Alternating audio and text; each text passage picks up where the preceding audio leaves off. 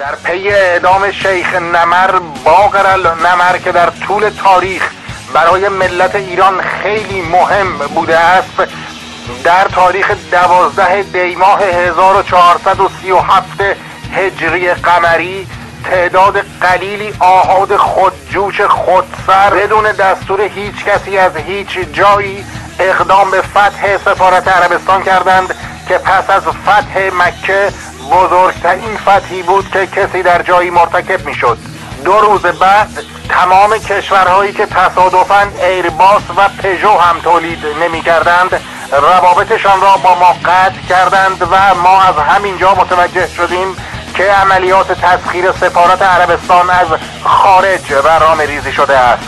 در پی این اکتشاف بلافاصله فردی موسوم به حسن کرد میهن در خارج شناسایی و در داخل دستگیر شد و در همان ساعت اولیه مشخص کردید که او از طریق تلگرام اقدام به این عملیات خودجوش خودسر کرده است. او که به طور خودجوش با تلگرام سابقه خدمت به هیئت الرضا و همزمان خدمت به هیئت کاپیتان غالیباف را نیز دارد اعترافاتی نمودی که برای اولین بار در اینجا منتشر می شود به نام خدا لطفا خودتون رو برای بینندگان ما اعتراف کنید.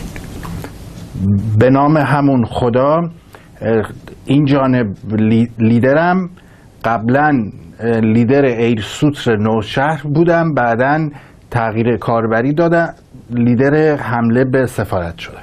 یعنی شغلت اینه که لیدری صبحها آخوندم شبا لیدری می‌کنم. با همین قیافه نه با, با این قیافه با این قیافه صبح آخوندی می‌کنه شبا لیدری. با این. این چیه دستت؟ این این هیچی اونجا بود برداشتم. ما هر جا میریم لیدری ریشتراش باشه برمیداریم. یه خال هم اینجا داشتی. چی شد؟ من اصلا خودم می‌خواستم ببرم جراحی کنم بردارم بعد ولی بعدا تو بازجویی خودش کنده شد. از این عکس ها کدومشون رو می‌شناسی؟ از این عکس ها من اینو خیلی می‌شناسم اینو اینو. خیلی. مگه موقع حمله به سفارت عربستان پلیس اونجا نبود؟ اگه پلیس نبود که اصلا ما نمی‌تونستیم بریم سفارت رو بگیریم. ما یعنی گیر کرده بودیم. چجوری اصلا از دیوار بریم بالا؟ من لیدر بودم به بقیه همه گفتم ما از دیوار نمی‌تونیم بریم بالا. که پلیس اومد قلاب گرفت و ما تونستیم تصرف کنیم. میشه توضیح بدی از کجا دستور مستقیم می‌گرفتی؟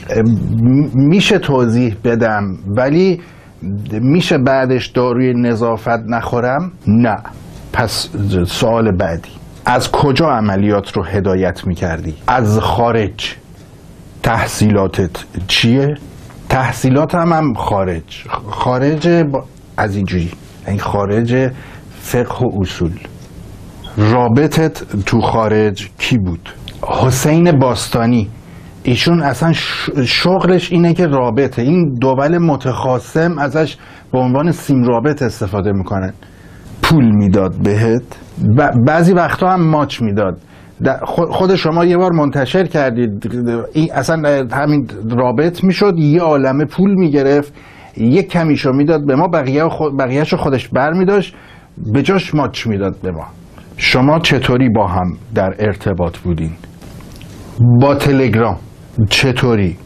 تو, تو تلگرام به یه گروه داشتیم جوک میفرستاد. بعد ما جوکا رو میخوندیم که میخندیدیم بعد می‌رفتیم سفارت رو می‌گرفتیم. اصلا چی شد؟ به فکر تسخیر سفارت افتادیم.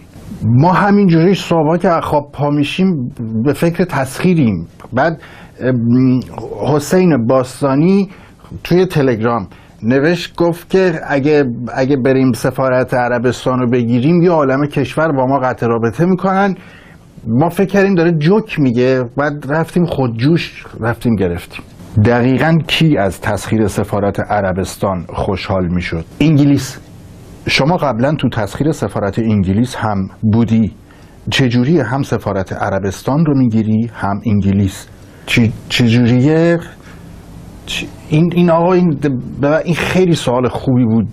ما به جان مادرمون به این قبلا فکر نکرده بودیم چجوری واقعا ما چجوری میشه؟ ما میریم هم انگلیس رو میگیم. میشه اینو بزنید عقب یه بار دیگه من فکر کنم بهش. شما چند جا هم با محمد باقر قالیباف مشاهده شدی؟ کجا با قالیباف آشنا شدی؟ با قالیباف سال هفتاد و هشت بالای دیوار کوی دانشگاه. اونجا هم رفته بودیم خودجوش بزنیم. گیر کرده بودیم چجوری از دیوار بریم بالا؟ سردار قالیباف و بچه ها اومدن قلاب گرفتن که ما رفتیم بالا. اون موقع تلگرام نبود ولی حسین باستانی به ما پول می‌داد با ماچ. من یک سوالی شما خیلی صدات شبیه منه. تو یه موقعی هم تو سوریه با سردار حسین همدانی کار می‌کردی. نه؟ آقا آقا به جان مادرمون اون اون اشتباه شد. اون نی اسمش حسین بود. ما فکر کردیم حسین باستانیه. فوری تلگرام اونو برداشتیم رفتیم سوریه دیدیم قولی بعد دیدیم این حسین همدانیه نه پول که نه هیچی. ماچ هم ند. یعنی اصلا می‌داد که ما هم اشتباه شدم به خدا اشتباه شد. برنامه بعدی چیه؟ برنامه بعدی من بعد سوال کنم چرا شما صدات شبیه صدای من